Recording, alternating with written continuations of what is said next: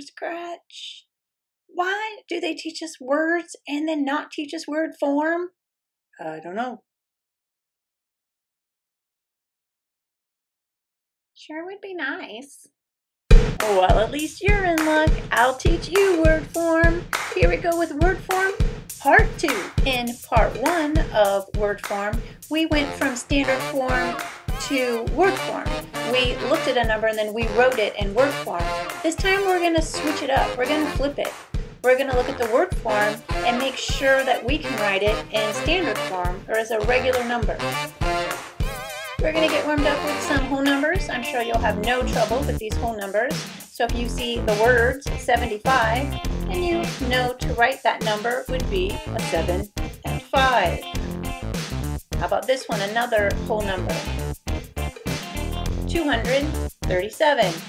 I'm sure you already know how to write that one. 237, 237. But what if we get a decimal?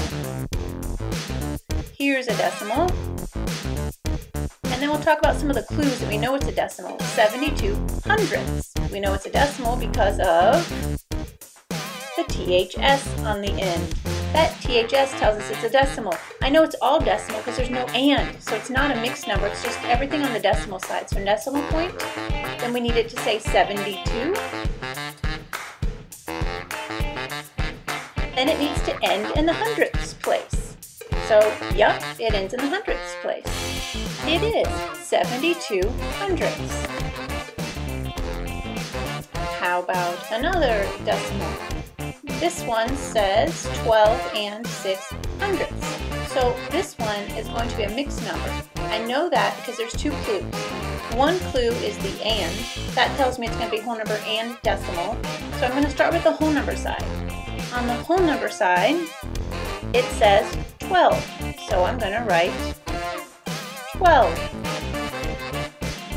And then the next part of it is the and.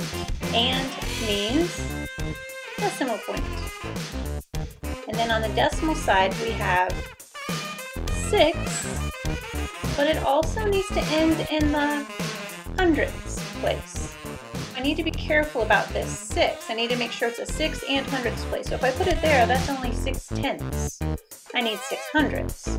So that's not going to work. If I just add a zero after it, it's going to be 60 hundredths. That's not what I want. So I have to move it over and then put a zero in so you can see how far I moved it over. So you can tell I just moved it over the one spot from tenths over to the hundredths place. Now I have 12 on the whole number side and 6 hundredths on the decimal side. Try this one on your own. Write this number using digits in standard form, 3 and 5 tenths.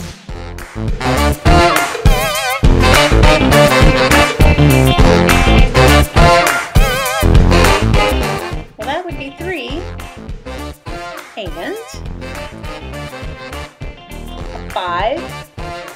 and the number ends in the tenths place. There you go, 3.5, 3 and 5 tenths.